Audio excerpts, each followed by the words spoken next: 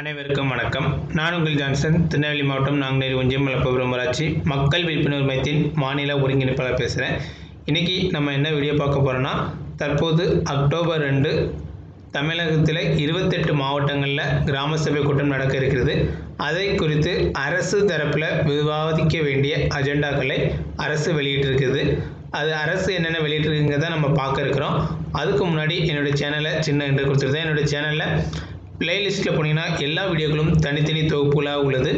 கிராம சபை சட்டம் சம்பந்தமாக ஒரு காணொளிகள் முதலமைச்சர் முதலில் கைத்திட்ட ஐந்து திட்டங்கள் குடும்ப அட்டை சம்பந்தமான காணொலிகள் ஆன்லைன் வெப்சைட் சம்பந்தமான காணொளிகள் கிராம சபை ஆலோசனைகள் கோவிட் நைன்டீன் அரசு திட்டங்கள் உள்ளாட்சி தேர்தல் ஜிபிடிபி ஆர்டிஐ கிராம சபை தொகுப்பு என முன்னூறுக்கும் மேற்பட்ட காணொளிகள் உள்ளது. டைம் கிடைக்கும்போது பாருங்கள் பிடிச்சிருந்தா லைக் பண்ணுங்கள் பயனுள்ளதாக இருந்தால் மற்றவங்களுக்கு ஷேர் பண்ணுங்கள் தொடர்ந்து என்னுடைய பதிவில் உங்களுக்கு ஒன்றா மறக்காமல் சப்ஸ்கிரைப் பண்ணி பெல் பட்டனை ப்ரெஸ் பண்ணுங்கள் வாங்க வீடியோக்குள்ள கண்டனுக்குள்ளே போகலாம். அரசு தரப்பில் வெளியிட்டிருக்கக்கூடிய இந்த அஜெண்டாவோட லிங்க் பிடிஎஃப் ஃபைல் வந்து டிஸ்கிரிப்ஷனில் கீழே இருக்குது டவுன்லோட் பண்ணிடுங்க. இருபத்தி ரெண்டுக்கு மேற்பட்ட தலைப்புகளில் அரசு வந்து விவாதிக்கிறதுக்கு நமக்கு வந்து அஜெண்டா ரெடி பண்ணி கொடுத்துருக்காங்க. இதுதான் உங்களுடைய கிராம வளர்ச்சிக்கு மேம்படுத்தும் என்று நீங்கள் நம்ப வேண்டாம். இது வந்து தமிழ்நாடு லெவலில் அவங்க குழு கமிட்டியில் ஆராய்ந்து தேர்ந்தெடுத்த திட்டங்கள். உங்கள் கிராமத்திற்கு என்ன வேங்கிறது உங்களுக்கு தான் தெரியும். கிராம சபை முன்பே நீங்கள் கலாய்வு செய்து திட்டங்களை உங்களுடைய தலைவரிடமோ இல்லை நீங்கள் ஒரு குழுவாக சேர்ந்து ப்ரிப்பேர் பண்ணி கிராம சபை என்று விவாதித்து அதை தீர்மானங்களாக நிறைவேற்றி சம்பந்தப்பட்ட துறைக்கு அனுப்பி நிதிகளை பெறுங்கள். அது என்னுடைய ஆலோசனை. அரசு தரப்பில் என்ன கொடுத்துருக்காங்கங்கிறத நம்ம பார்ப்போம். முக்கியமான விஷயம் தேர்தல் நடைபெறதுனால ஒன்பது மாவட்டங்களில் கிராம சபை கூட்டங்கள் கிடையாது. அதை தவிர இருபத்தெட்டு மாவட்டங்களில் நடக்க இருக்குது.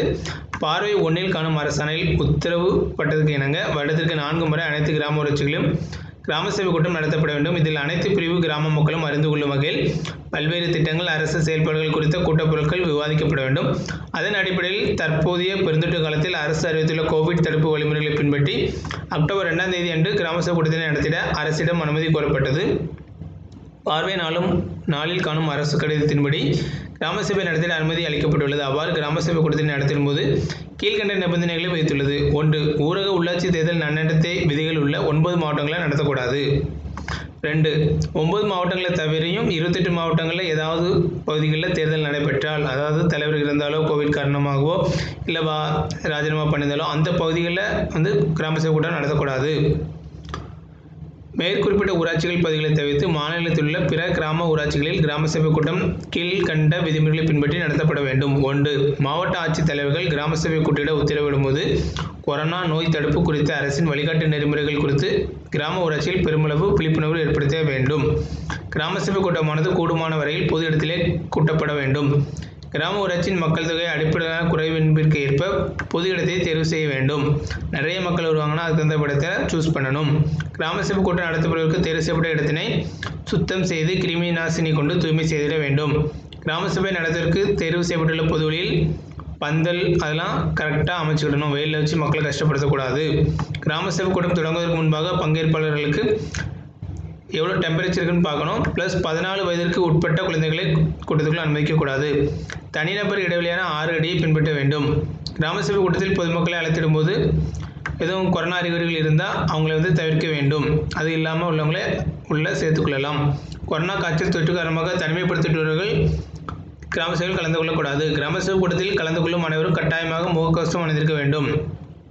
கூட்டம் வந்து காலை பத்து மணிக்கு கூட்டப்பட வேண்டும். கூட்டத்தின் கால அளவு காலை பத்து மணிலேருந்து மதியம் ஒரு மணிக்குள்ளே முடிச்சிருங்கன்னு சொல்லியிருக்காங்க.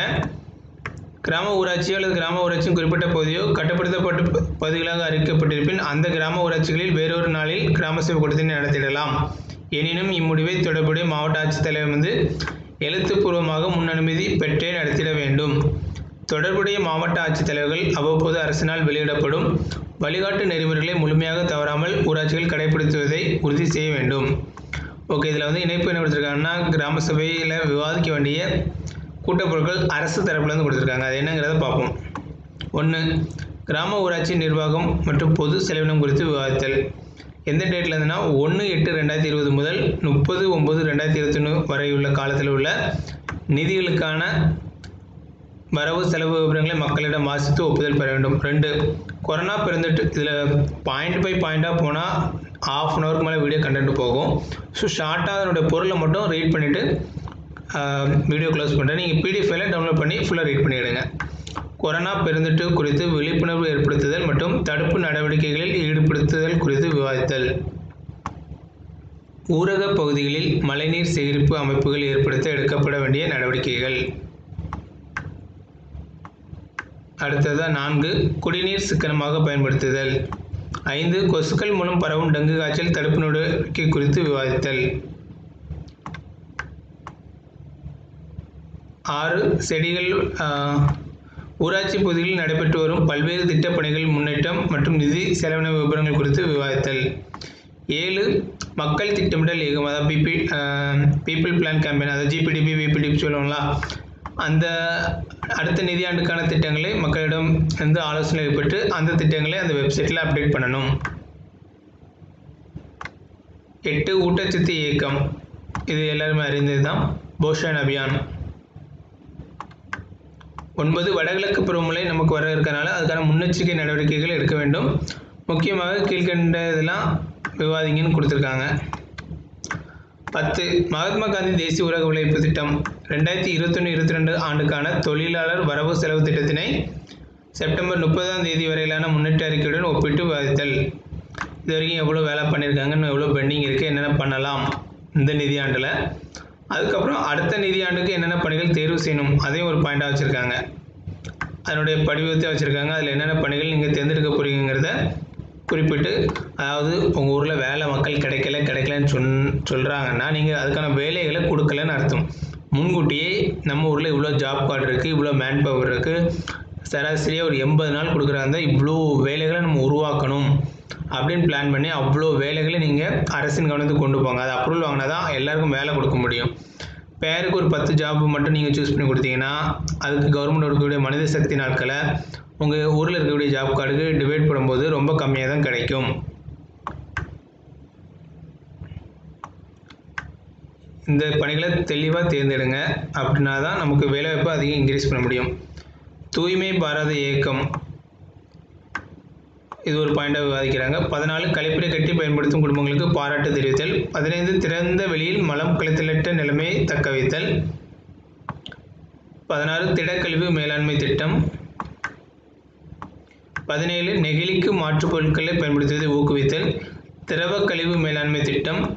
விரிவான கிராம சுகாதார திட்டத்தை பற்றி விவாதித்தல் இருபது தூய்மை கணக்கெடுப்பு ஊரகம் குறித்து பொதுமக்களுக்கு தெரிவித்தல். இருபத்தொன்று மின் சிக்கனத்தை கடைபிடித்தல் மின் சிக்கனம் தேவை இக்கணம். ஊராட்சிகளில் தெரு விளக்குகளை முறையாக பயன்படுத்துதல் குறிப்பிட்ட நேரத்தில் மின் விளக்குகளை எரி வைத்தலும் அணை வைத்தலும் மின் சிக்கனத்திற்கு வழிவகுக்கும் தேவையின்றி பகல் மற்றும் வெளிச்சமுள்ள காலங்களில் மின் விளக்குகளை எரிப்பதை தவிர்த்தல் வீட்டில் உள்ள மின் சாதனங்களை முறையாக பயன்படுத்தல் நன்று மேல்நிலை மற்றும் தரநிலை நீர்த்தேக்க தொட்டிகளுக்கு நீர் ஏற்றும் போது மின் மோட்டார்களை நீர் நிரம்பியுடன் அணைத்து வைத்தல் இருபத்தி ரெண்டு ஜல் ஜீவன் திட்டம். இது ஒரு முக்கியமான திட்டம். இது குறித்து நல்லா விவாதித்து மக்களுக்கு தண்ணி கொடுக்கறதுக்கான சோர்ஸை ஆராய்ந்து அதை போர் போட்டு கொடுத்துடலாம். ஆனால் அந்த போர் வந்து தண்ணி வைத்தாமல் இருக்கிறதுக்கு என்ன பண்ணலாம்? அதையும் யோசித்து பிளான் பண்ணுங்கள் ஜல் ஜீவன் திட்டம் ஊரக வாழ் குடிமக்களுக்கு வீட்டு குடிநீர்ப்பு மூலம் சுகாதாரமான குடிக்க உகந்த குடிநீரினை வழங்கும் பொருட்டு ஒன்றிய மற்றும் மாநில அரசு நிதியின் மூலம் நிறைவேற்றப்பட்டு வருகிறது. இத்திட்டத்தின் மூலம் ஊராட்சிகளில் உள்ள அனைத்து இல்லங்களுக்கும் வீட்டு குடிநீர் இணைப்பு வழங்கப்படும். இத்திட்டமானது மக்கள் பங்கேற்புடன் செயல்படுத்த வேண்டிய முக்கியத்துவம் வாய்ந்த திட்டமாகும். ஜல் ஜீவன் திட்டம் கிராம ஊராட்சிகளில் செயல்படுத்தப்படும் போது அப்பணிகள் முறையே நடைபெறுவதை கிராம ஊராட்சிகள் கண்காணித்திட வேண்டும். கிராம ஊராட்சியில் உள்ள நீர் மற்றும் சுகாதார குழுவானது குரா ஊராட்சியின் குடிநீர் மேலாண்மை முழுவதுமாக கண்காணித்திடும் அளவில் செயல்பட வேண்டும். அக்டோபர் ரெண்டு கிராம சுகடத்தில் இது குறித்து முழுவதுமாக விவாதித்து ஊரக பொதுமக்கள் பயன்பெறும் வகையில் முன்னெடுத்து செல்லுதல். கிராம ஊராட்சியில் சுயாட்சி பெற்ற அமைப்புகளாக விளங்கின துண்டுகளாக இருந்து வரும் தேசத்தந்தையமான மகாத்மா காந்தியடிகள் அவர்களின் கனவு மைப்படும் வகையில் காந்தி ஜெயந்தி அன்று நடைபெறும் கிராம சபை கூட்டத்தில் ஊரக வாழ் மக்கள் குடிக்க உகந்த குடிநீரை வீட்டு குடிநீர் இணைப்பு மூலம் பெறுவதையும் சுகாதாரத்தை மேம்படுத்துவதில் பொதுமக்கள் கிராம ஊராட்சிக்கு தோல் கொடுத்து தோல் நின்று முன்னே முன்னேற்றம் செல்வதிலும் உறுதுணையாக இருக்க கிராம சபை தீர்மானித்தல். இருபத்தி ரெண்டு தலைப்புகளில் விவாதிக்க அரசு கொடுத்துருக்கு. உங்கள் பகுதியில் என்ன தேவைகளோ அதை நீங்கள் ப்ரிப்பேர் பண்ணி கண்டென்ட் எப்பவுமே ரெடி பண்ணுங்கள் அஜெண்டாவை கேள்வி கேட்பது சண்டை போடுவது நோக்கமில்லை நம்முடைய கிராமத்தை வளர்ச்சி பணியில் வளர்ச்சி பாதையில் வளர்ச்சி திட்டங்களை தீர்மானம் வைத்து கொண்டு போவதே நம்முடைய நோக்கம். அந்த இடத்துல சண்டை போடுறத விட ஞானமாக நடந்து ஃபைட் இல்லாமல் நீங்கள் வளர்ச்சி திட்டங்களே தீர்மானமாயிட்டுங்க அந்த சண்டை போடுறத கட்டல ஆர்டி மூலமாக அந்த தகவலாம் வாங்கிக்கிடலாம் ஃபைட் பண்ணாமல் கவனமாக இந்த கிராம சேவையை சிறப்பாக நடத்த என்னுடைய வாழ்த்துக்கள். நன்றி.